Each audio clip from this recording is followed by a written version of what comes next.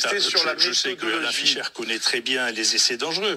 Il a fait des essais dans lesquels les enfants euh, qu'il a fait protocoler sont morts. Moi, ça ne m'est jamais arrivé de faire un essai thérapeutique où il y avait des morts.